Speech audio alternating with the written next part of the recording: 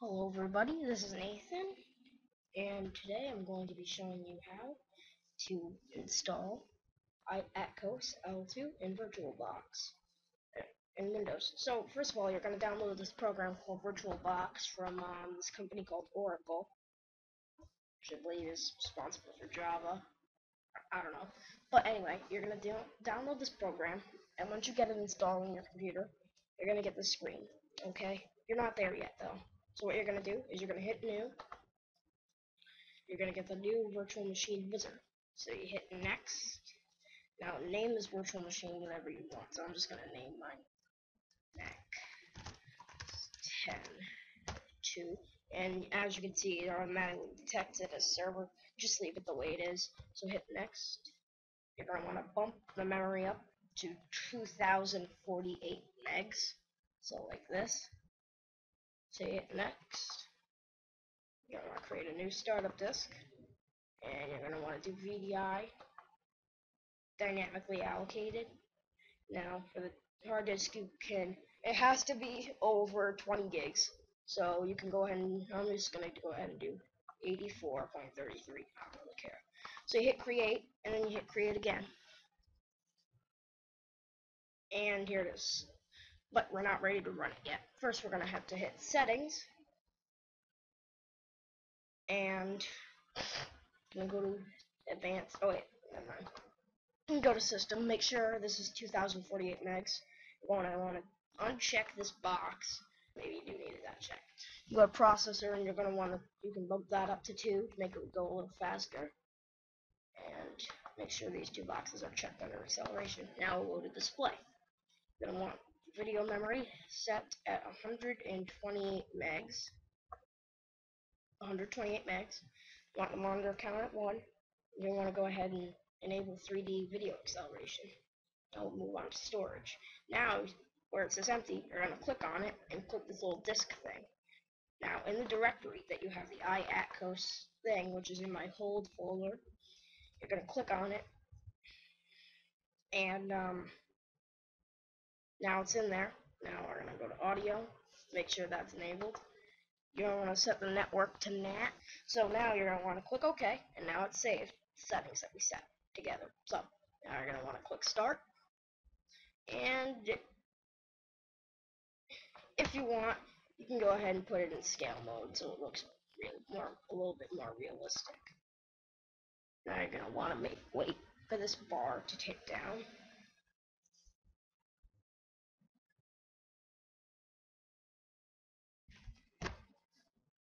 But don't leave yet. There's more coming up. While it's booting, it takes a while to boot off the CD, so I'm just going to stop the video while I'm waiting. Alright, once you're done booting, you're going to get this screen with all these languages saying welcome scrolling by. You want to hit your language, and then you're going to press this little arrow thing.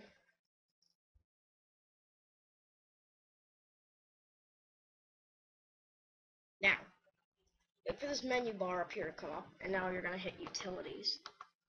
Now you're going to hit Disk Utility. And this is mandatory, so, but so is everything else I've shown you so far. So now you're going to click on the hard drive. You're going to label that you want, so I'm just going to put in that plus 10. And erase. And erase. Goes ahead, writes out the partition table.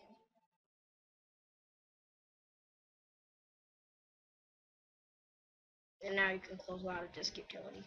So the installer will come back up and hit continue. And then you're going to accept the agreement, of course. Now you're going to hit our hard disk, but instead of clicking install, we're going to hit customize. So go ahead and do that. Make sure your bootloader is Chameleon 2.1. Make sure that you have these boot options set the way I had them. These patches are good. Now we're going to go to drivers. We're going to go to main hardware. Now you want SATA IDE checked. Go under sound. And then click Voodoo HDA. You can collapse it if you want.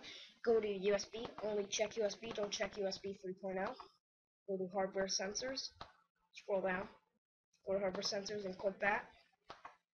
Now you're going to want to check PS2. Now go under VGA, or actually, you don't need to do VGA.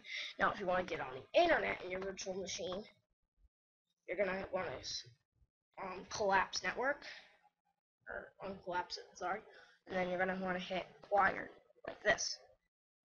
You want to make sure that all these options are checked, like I have them, like I showed you. So now you're going to click OK. Now you're going to hit install. And this usually takes about 20 minutes to complete, so until it completes, I'll stop the video.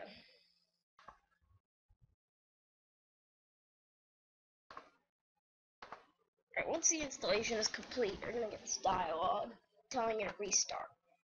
So just press restart. However, you'll get a kernel panic.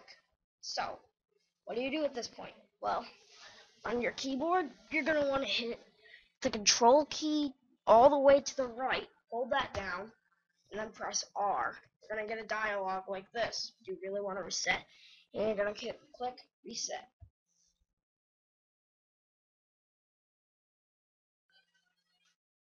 I'm to get this music, but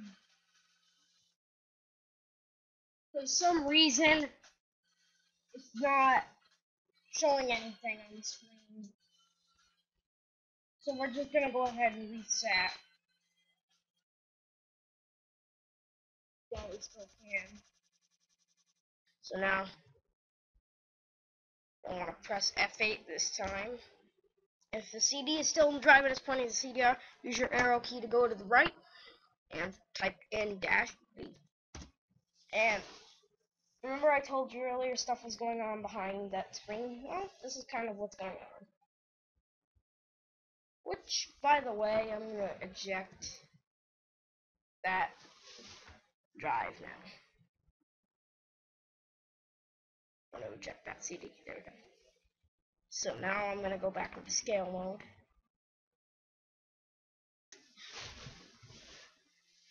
And the reason why we typed dash V was so we to boot into verbose mode which will basically show you whatever is going on behind that Apple loading screen.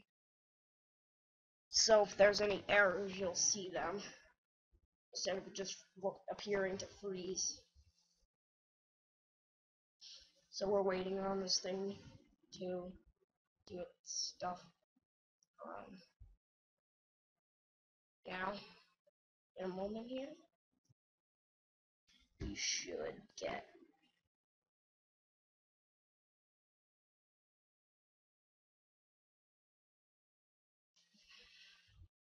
Here we go. Now it's loaded. And see. Getting a white screen for some reason. Just wait on that. There we go. And now it's going to ask you for your country, so you can go ahead and put that in. Put your keyword layout. And you'll want to hit don't transfer now. And you can enter your Apple ID if you really want to. And you can also enter your registration information, but I'm going to pass it off. I don't want to send my personal information, so I'm going to hit continue.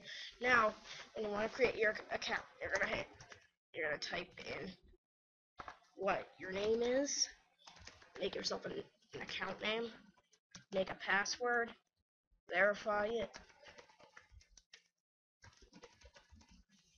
and Then you're gonna hit continue. Oh, I'm not putting in a password here.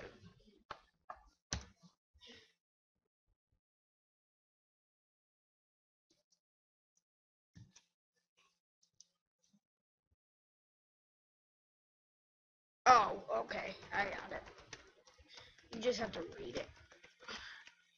So you enter your password, and then you press continue.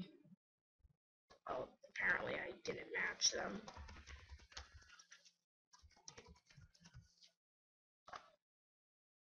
So it creates your account.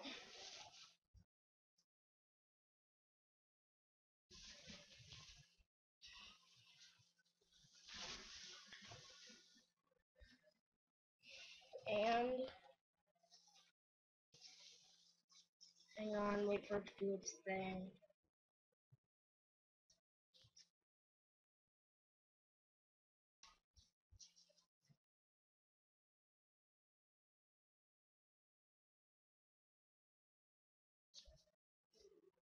Now it's connecting with Apple. Now with your time zone, I live in Boston, so I'm gonna want to put that Boston. Mass.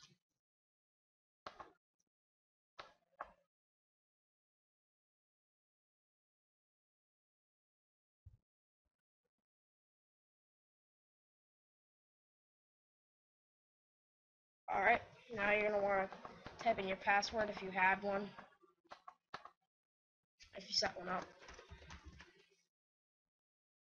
Click that arrow. Oh, what happened?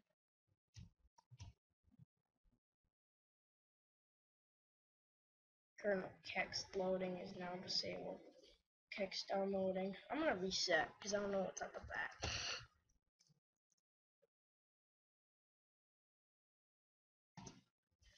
just gonna go ahead and do it. Just enter it normally. Boot into OS 10, you're gonna want to go into verbose. Because if not, it just freezes for some reason. So you go ahead and wait on this thing too. And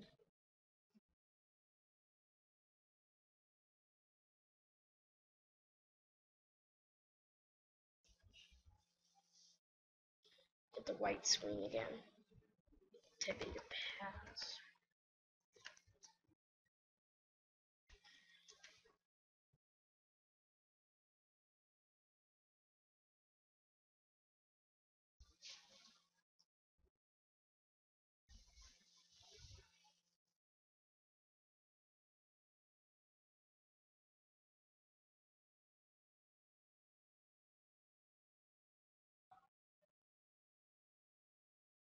Oh, and would you look at that, you've got macOS 10 on your PC. So that's about it for this video.